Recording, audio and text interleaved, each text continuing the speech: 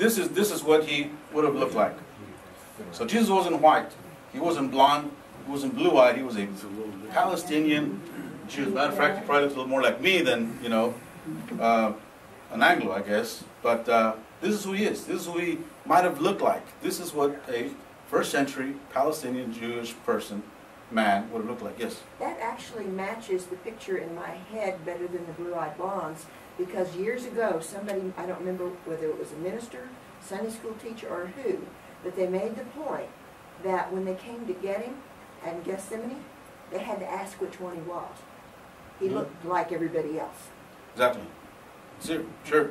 You know, so to me, when I see this picture, and I'm not saying this is Jesus, but it kind of it kind of gives me an idea of, of him walking through Nazareth and him going to Capernaum and, and interacting with, with the people, interacting with his disciples.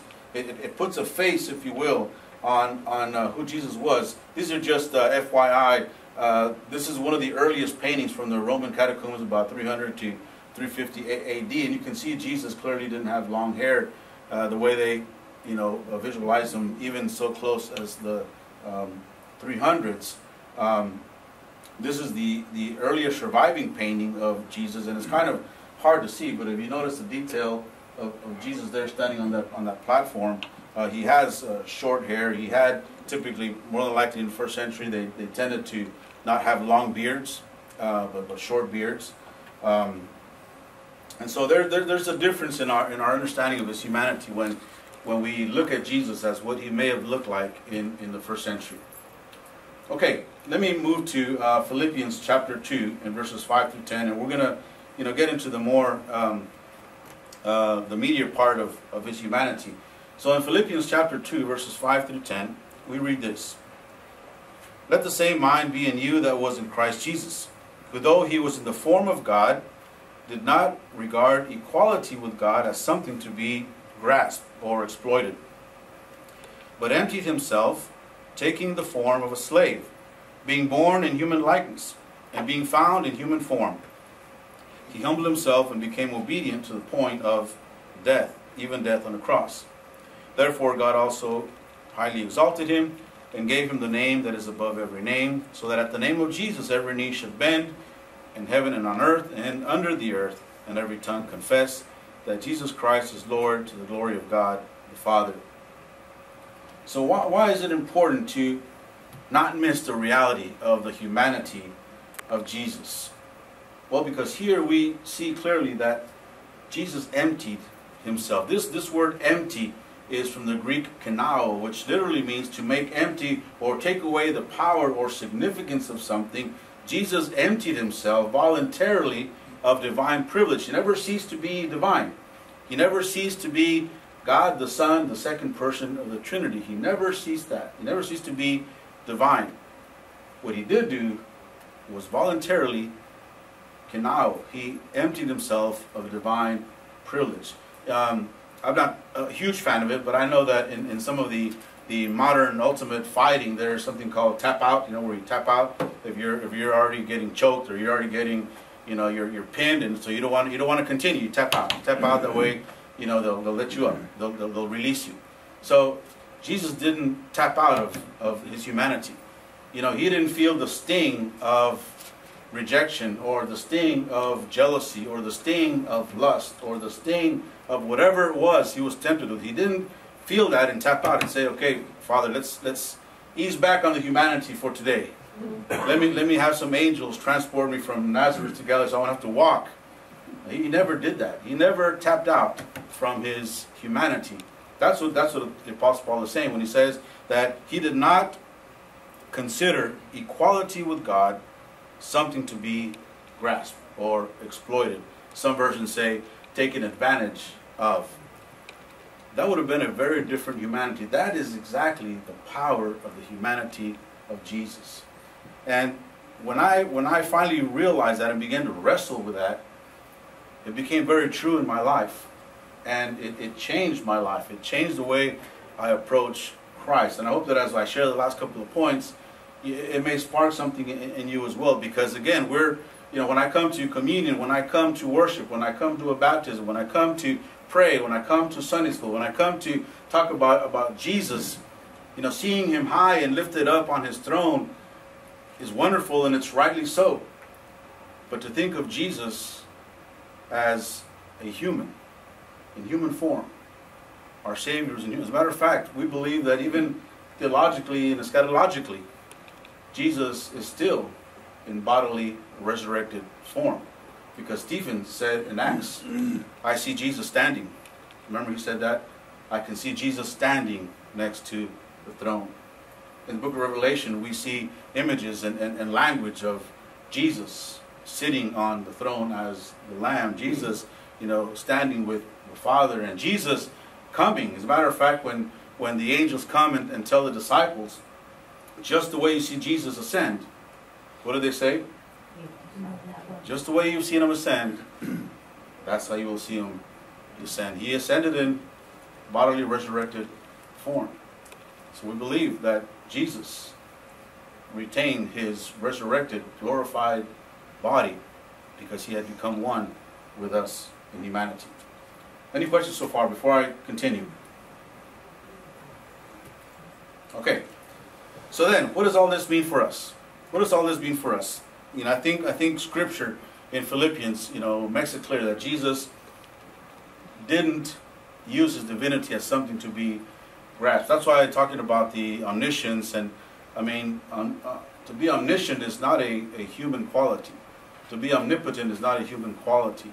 Um, to, to, to have divine power is not a human quality. So if Jesus wanted to fully 100% experience his humanity, you put that along with Philippians chapter 2, and we have to say, no, Jesus was not omniscient because of what Paul says.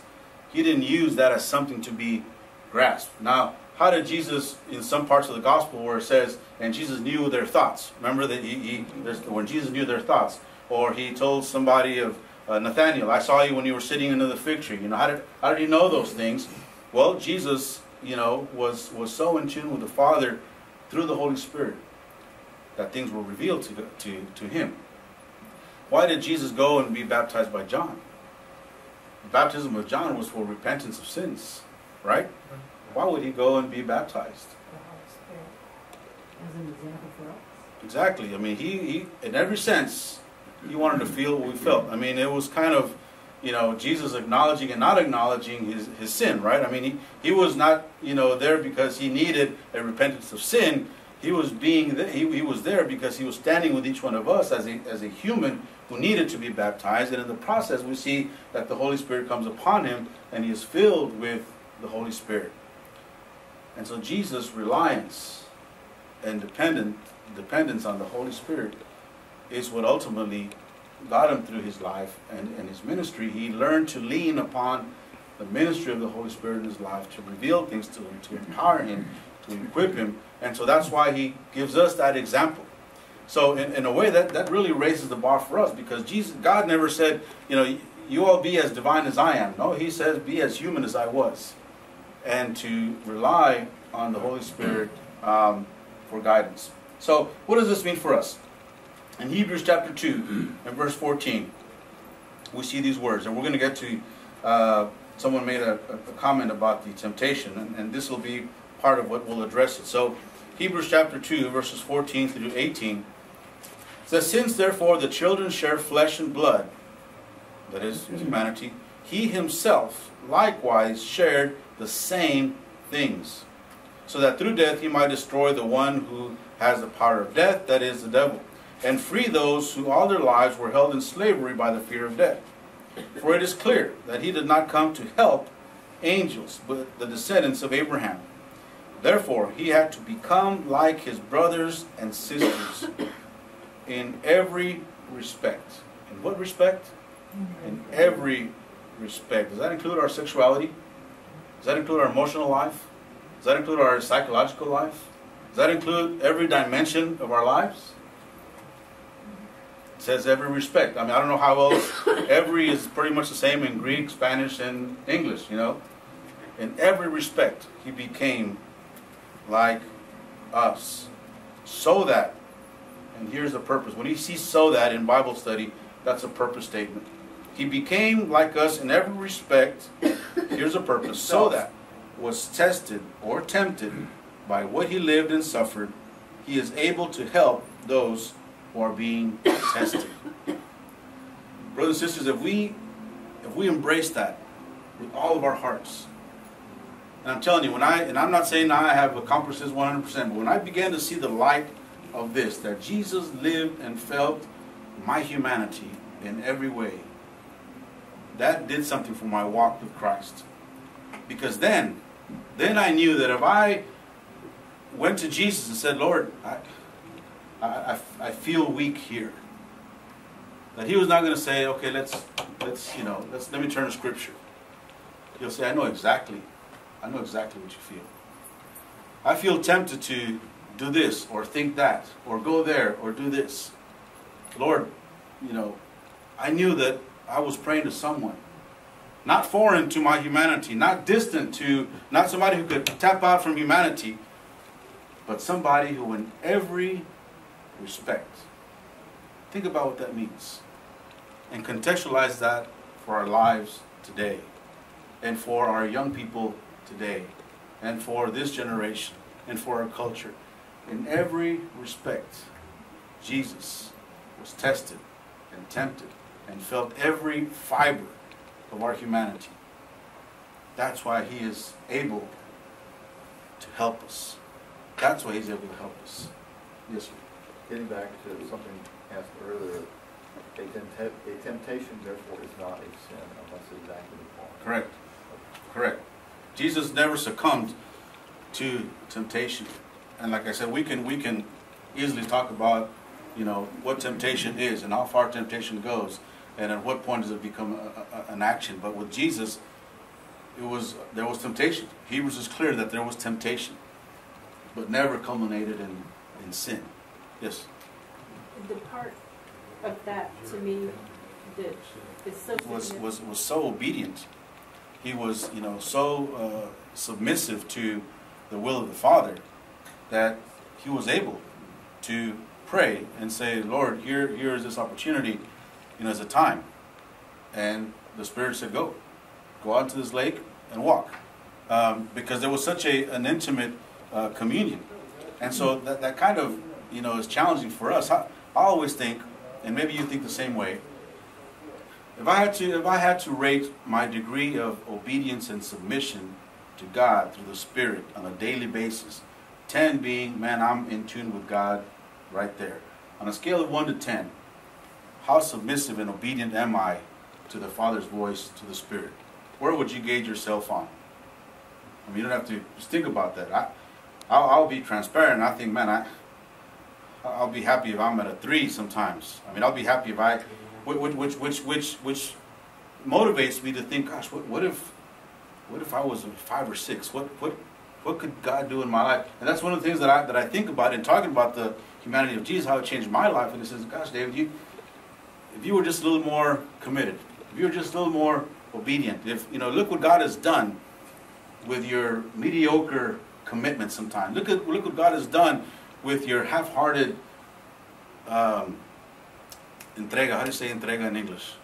Um, Delivery, sorry? delivery, No, like uh, commitment. commitment. Let's say Yeah. commitment. You know, what- how can how can you know God uses me even when I'm at a two or three? What if I would really, for His glory, strive to be at a five or six? What if the church worldwide would be at a five or six? Where would we be? Where would Coker be if, as a whole, we would be at a five or six? I mean, I'm not trying to play with numbers, but you, you understand my point.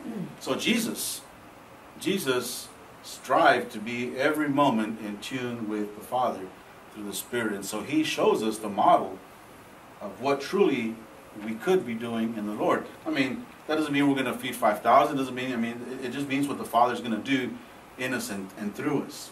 And so um, I think that that's part of what, what I would I would say. Does somebody have a hand or oh, three hands? Okay. Was Here, there- here, there. Was there any, any, any examples of the Holy Spirit entering Jesus before the baptism? No. No, and that's that's So he was hundred percent human. that's intentional. Yeah, I mean, God's God, you know, the Father was with him and, and, and all that. But immediately when that baptism happens, he is he is led into the wilderness and his, his uh, ministry begins. And ironically, his ministry begins with a huge temptation on his humanity. I mean, hunger and, you know, uh, uh, there, there's, a, there's a guy named Leonard Sweet who's a, I like, it- I like, he writes very well, uh, very contextual, very culture oriented. And he says, you know, if you want to know how important worship is, ask the devil. Like, Whoa, you know, because the devil says, you know, he led Jesus up to this high mountain. All of this is mine. And he showed him the kingdoms, the world, right? The principalities. All this I give you if you'll do one thing worship me. I mean, that's how much it meant to the devil. It meant everything. And he says, and Leonard Sweet says, you know, he didn't say, I'll give you everything except Las Vegas or Atlantic City or anything like that. Everything is yours if you just, just worship. That's all you got to do. And the truth is, if you would have worshiped, you would have gotten the whole world. And all that the devil was, but that would have thwarted God's plan, right? But Jesus' humanity was tested right off the bat. As soon as he was was was was uh, filled with the Holy Spirit, first thing that happens, according to the Gospels, is he goes to be tempted. His humanity is is tried with, with hunger and, and all that that the devil said when he showed him all the world. That's all the world, if you know what I mean. I mean, from A to Z, here's the humanity. It's all yours. Could he have been presented with all kind? Sure. Everything was presented to Jesus. So, yes, I all think Louise's question and some of your points, uh, the disciples did almost everything that Jesus did, except the weather, uh, perhaps. Uh, They were able to through the Holy Spirit. uh, Good point. Jesus is Good point. uh, Look at the- able to do most of those same things. Look at the book of Acts. Yeah. You look at the book of Acts, and you look at you know um, all and and and, and to be truthful, I mean you know, today the, the Spirit moves in mighty ways. I mean we can see, we can see how the, the Spirit continues to move in, in powerful, in mighty ways, including miracles and including other ways that that that today we see the Lord. Somebody had a hand over Well, I did, Yes. I was gonna make the same point, that the disciples then take Christ's example completely into our humanity with what they could do. I mean, Right. it's like, we get the complete picture of what Yes. can be. And you know, and, and and you know, to me, it's it's, it's kind of scary because now God says, okay, David, what's what's your excuse? I mean, I I'm not asking you to be at a 10 plus plus like my son was. I mean, you you be as human and committed, you know, and, and, and where you are and what you're doing. And to be honest, if, if I were to be honest with myself, I, I've fallen way short. I've fallen way short of, of what anybody can identify with that. Two people, three people, okay.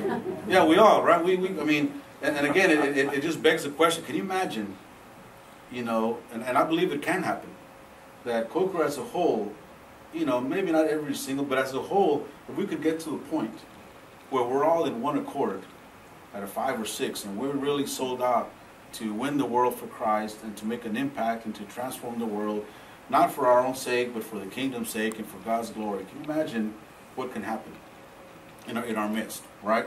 Uh, but yet, ironically, many times it's precisely our humanity that gets in the way, right? Because our humanity is about who? Well, I, you know, I, I didn't get too much out of that service today. I didn't get too much out of this. I didn't get too much out of I, you know, and so it's really about we and what I can do as part of, of the body also that, that counts. Let me let me begin to wrap it up because I see the time. So that's why he can help us. And one, one, one last verse I want to share is also there in Hebrews chapter 4, a couple of chapters back uh, or ahead, um, verse 14 through 16. Very similar. And so you, you kind of wonder why he, the book of the, the writer of Hebrews uh, emphasizes this more than once. He says, Since then we have a great high priest who has passed through the heavens, Jesus, the Son of God, let us hold fast to our confession. For we do not have a high priest who is unable to sympathize with our weaknesses, but rather we have one, again, who in every respect has been tested or tempted, yet without sin. Here's the power, key verse. Let us therefore approach the throne of grace with boldness, so that we may receive mercy and grace to help in time of need. Amen. Amen. Do you ever feel a need for help and temptation in your humanity? Do you ever feel a need for grace and mercy? I do. Isn't it wonderful to know that when we do come to the Lord, He is able to help us? Jesus knows how hard it is to be human. He knows how hard it is to be human. I hope that as we come to the table this morning, that in the back of your mind you'll have this presentation. That Jesus, as, as we break the bread and as we remember what Jesus did, it was not only what He did through the Father, but also He took our humanity. His very humanity was broken so that our humanity might be restored and be healed. We have a Savior and a God who fully understands our humanity, and that's why, that's why He can help us in our time of need. That's the power. That, that will preach, brothers and sisters. that will preach. We have a Savior who can help. And let me just finish with a short story. I remember, I remember in college, and I, I've shared this at certain, at other times. I needed, I needed college algebra to graduate from college. And college algebra and I like water and oil. I mean, we, I, I, I know it's going to sound humorous, but it was a mental block. It was really a mental block. I, I couldn't do it. I couldn't do it. I mean, I got through everything else. So of course, as, as, a, as a very you know wise person at, at you know 22, 23 years old, I'll just take it at the end.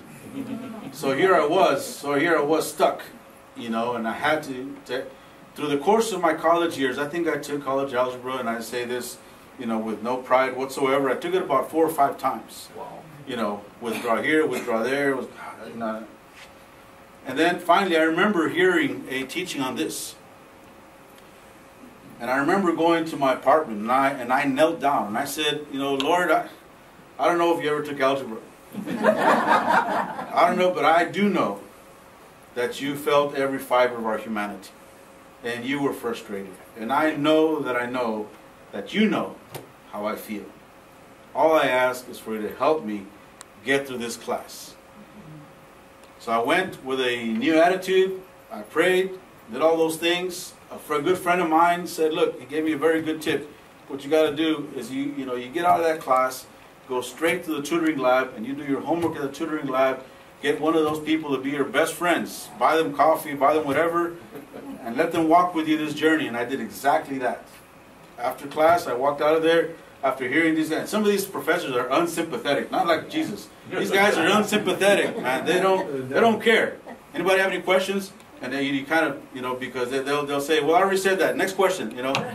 So, so I went to this to this lab, and this guy who had a, a long hair, deceptively a good guy, he showed me the insight and the tricks of, of algebra. I mean, to my level. The first test that we took was a 98. I got a 98. I got the second highest score in the class. I couldn't believe it. I, I, I, was shocked. Right? Of course, the first test is always easiest, right? Of course, from there they started to. Next one was like an 85. Next one was, you know. But I had that 98 to kind of help me out. You know, that, that was what I. I went and I finished that semester, and I graduated with a with a B minus, enough to get credit for that semester and be able to graduate. But my point is, you know, I can't tell you how many times, how many times I walked into the door of that class, and under my breath, in my mind, in my heart, I said, okay, Jesus, I know you're here. I know you have felt my humanity. Walk with me again. And it seems minute, it seems insignificant. But to me, it meant everything because I was able to graduate. Amen? And my, my wife to be was waiting, so I had to, you know, no pressure, right? No pressure. But brothers and sisters, I believe that this right here, there's power in the message of the incarnation that Jesus felt every fiber of our humanity.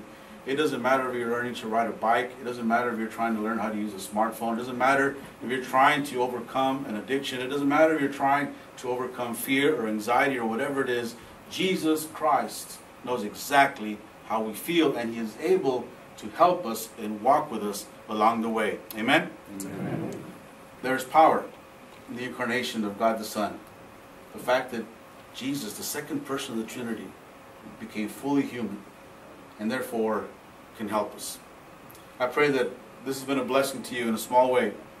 That Jesus, being fully God, was fully man, fully human as well.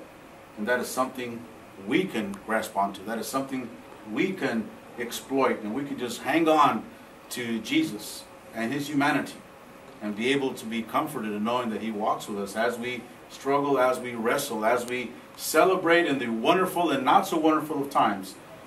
Jesus helps us in our humanity. God bless you. Thank you so much. Circle up.